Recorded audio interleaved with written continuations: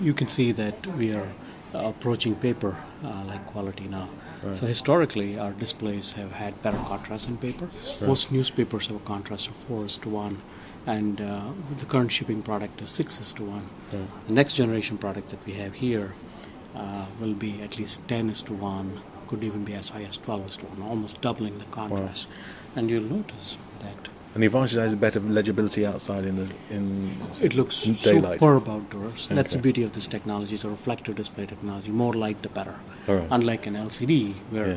you don't want to fight with the sun because LCD always loses when it fights with the sun. Yeah. But in this case, we we utilize the sun, so it's great.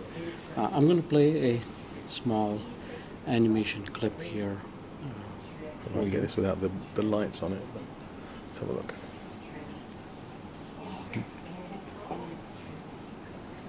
Uh, it's yet to commence.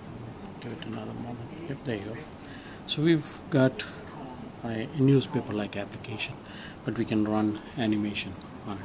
And the animation, by the way, can be run on our existing product also, with the existing electronics. But Right. in next generation, electronics improves because we've partnered with a number of semiconductor companies to build single uh, system-on-chip solutions that will um, uh, clearly help us uh, from an electronics perspective. And then together with the high contrast display, we will be able to support the next generation of uh, ebooks. And what, what are you calling this technology, the next generation? It's still our e-ink Vizplex technology. We go to the next generation. We haven't come up with a name for this product You yet. haven't? Oh, it's that Uh, We are going through the naming convention now. Right. But uh, so far, uh, being that we are now part of a Taiwanese company, the names that we come up in the U.S., we are sending it to Taiwan to see if it makes sense Okay. in Asia. And many of the names we send just don't work there.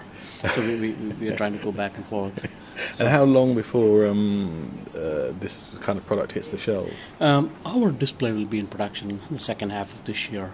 The actual um, end devices using this technology could appear later on this year. Uh, Most of them will actually appear next year, Right. but some of them will appear this year for sure. Okay. Uh, but it's just a um, transition from current technology to this. Some customers may choose to remain on the old technology because it's just working fine for them. Okay. Um, this essentially gives them a higher contrast. That's Better battery production and stuff, or, or Uh, no, it's all pretty much same. Okay. Uh, rest of the features are pretty much same.